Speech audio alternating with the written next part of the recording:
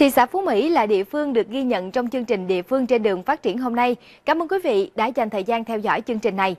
Thưa quý vị, được quy hoạch là đô thị mới với chức năng trung tâm công nghiệp, cảng biển, dịch vụ hậu cần cảng, thị xã Phú Mỹ trong tiến trình phát triển đã và đang chuyển dịch rất nhanh về hạ tầng kỹ thuật và xã hội.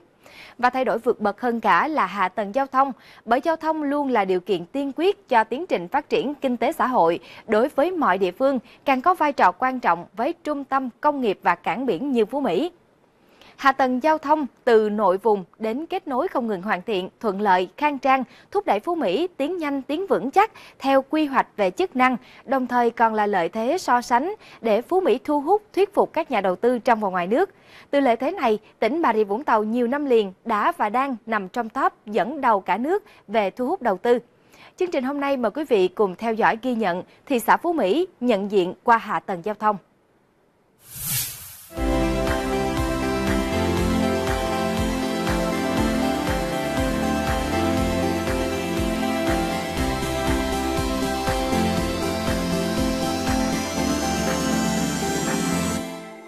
Thưa quý vị, tuyến giao thông tạo vị thế cho thị xã Phú Mỹ trước hết là tuyến quốc lộ 51. Hình thành từ thời Pháp thuộc, uh, quốc lộ 51 bây giờ là quốc lộ 15. À, trong dự án ờ, phát triển quy hoạch à, vùng giai đoạn mới thì à, quốc lộ 51 được à, chính phủ, Bộ Giao thông Vận tải giao cho công ty cổ phần cao tốc Biên Hòa Vũng Tàu tức BVAC làm chủ đầu tư. À, và như quý vị thấy đấy, đến nay tuyến quốc lộ 51 qua tỉnh Bà Rịa Vũng Tàu à, mà cửa ngõ là thị xã Phú Mỹ ngày càng khang trang hơn, khẳng định vị thế là tuyến huyết mạch trong tiến trình phát triển kinh tế xã hội của cả vùng Đông Nam Bộ.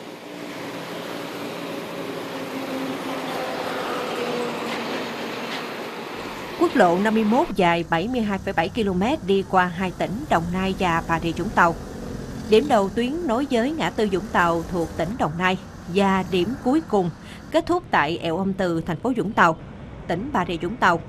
Như vậy, phần đi qua tỉnh Bà Rịa Vũng Tàu của quốc lộ 51 dài 52 km, riêng đoạn qua thị xã Phú Mỹ dài 23 km.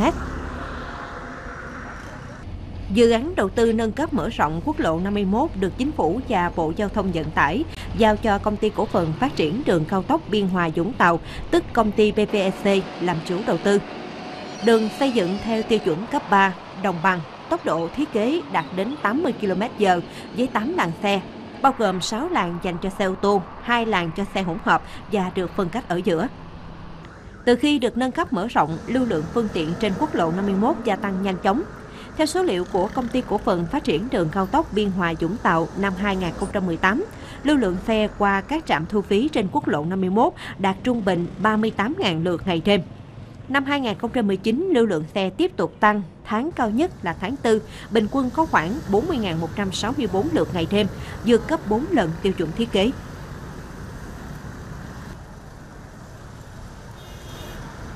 Công nghiệp và cảng biển tại Bà Rịa Vũng Tàu đã và đang có sức lan tỏa ngày càng sâu rộng cả trong và ngoài nước, trở thành ngành kinh tế mũi nhọn trong cơ cấu kinh tế Bà Rịa Vũng Tàu. Có được kết quả này thì hệ thống giao thông kết nối các khu công nghiệp cảng biển có vai trò cực kỳ quan trọng. Đây là tuyến đường 965, tuyến giao thông không chỉ phục vụ cảng Cái Mép Thị Vải mà còn phục vụ cả hệ thống dọc sông Thị Vải, được chính phủ và tỉnh Bà Rịa Vũng Tàu đặc biệt à, chú trọng đầu tư. Bởi thực tế, à, tuyến giao thông này hoàn chỉnh đến đâu thì à, cảng biển phát triển đến đấy. Đường 965 nằm trong gói thầu số 5 của dự án phát triển cảng quốc tế Cái Mép Thị Giải do Bộ Giao thông Vận tải làm chủ đầu tư và giao cho ban quản lý 85 quản lý. Tuyến đường dài 8,3 km nối từ quốc lộ 51 vào cảng quốc tế Cái Mép Thị Giải được khởi công ngày 14 tháng 10 năm 2008 bằng nguồn vốn ODA với tổng mức đầu tư 1.031 tỷ đồng. Đường thiết kế đạt vận tốc 80 km/h gồm 4 làn xe, không chỉ phục vụ cho cảng Cái Mép Thị Giải mà còn phục vụ cho cả hệ thống cảng nước sâu dọc sông Thị Giải. Mỗi ngày hơn chục ngàn lượt xe vận chuyển hàng hóa qua lại tuyến này. Về lịch sử ấy, thì ờ, cái chuyến đường này xây đến đâu thì cảng có đến đấy. Cũng như là đầu tư tuyến cầu mới thì bắc qua cảng CMT và cảng TCTT và cái cầu mới tiếp theo thì bắc qua cái khu một cái mép hạ. Chúng ta đầu tư đến đâu thì chúng ta có cảng đến đấy và chúng ta có sản lượng hàng hóa thông qua đến đấy. Song song đấy thì cái cầu cũng đóng vai trò rất là quan trọng trong việc kết nối giữa hàng hàng hóa giữa các cảng với nhau.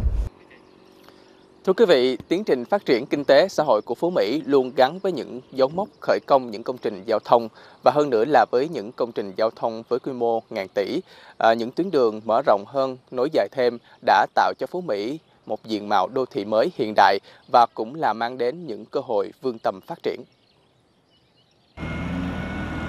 Không ngừng hoàn thiện hạ tầng giao thông kết nối để nâng tầm vị thế cảng biển lẫn các khu công nghiệp khu vực cái mép thị giải. Năm 2009, dự án đường liên cảng cái mép thị giải cũng được khởi công bằng nguồn vốn trái phiếu chính phủ. Đến thời điểm hiện tại, 2.789 tỷ 940 triệu đồng vốn trái phiếu chính phủ đã được bố trí đủ để hoàn thành dự án và toàn bộ hạng mục của dự án đã cơ bản hoàn thành. Tuyến liên cảng cái mép thị giải giữ vai trò kết nối các cảng dọc sông thị giải với đường cao tốc Bến Lức Long Thành, đường cao tốc liên dùng phía Nam.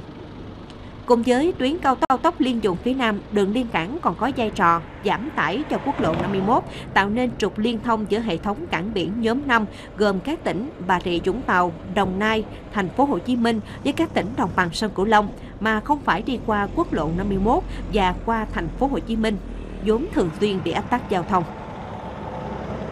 Tuyến đường liên cảng Cái Mép Thủy Vải là một trong tuyến đường quan trọng, huyết mạch nối liền toàn bộ hệ thống cảng biển nhóm 5 đi trên cái địa bàn tỉnh Bà Rịa Vũng Tàu. Tuyến đường liên cảng cái mép Thị Vải với tổng chiều dài 21,3 km với điểm đầu tại cảng cái mép hạ và điểm cuối được nối liền với khu công nghiệp cảng Phước An của tỉnh Đồng Nai.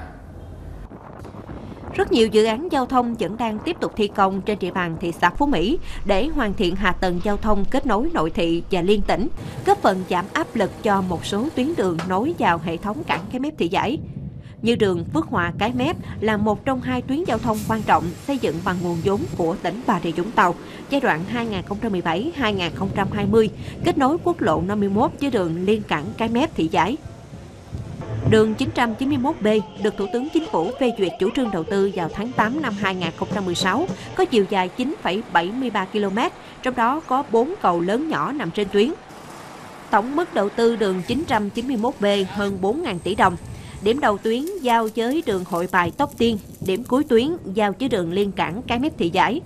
Tuyến đường đi ngang qua dùng quy hoạch trung tâm logistics hơn 800 hectare. Do vậy, tuyến cũng có vai trò rất quan trọng đối với mục tiêu phát triển logistics tại tỉnh Bà Rịa Vũng Tàu. Hạ tầng giao thông không ngừng phát triển và phát triển nhanh, quy mô lớn là bước chuyển nổi bật trong tiến trình phát triển của thị xã Phú Mỹ, hướng tới mục tiêu trở thành đô thị công nghiệp và cảng biển.